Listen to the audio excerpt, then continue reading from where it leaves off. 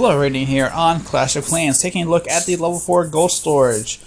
Should be having level 4 somewhere between level 5 and level 10. If this is your first time or your second time and you just kind of feel like I'm not really tracking that well and kind of miss on my wall, something like that.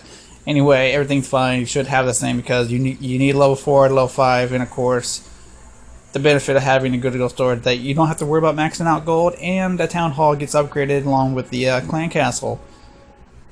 The cost for upgrade is 6,000 elixir and that is not bad. That is fairly cheap right now because in the future, this is your first time playing this, things do get very, very expensive. Take a look at the information. Storage capacity is at 12,000. Hit points are at 1,000.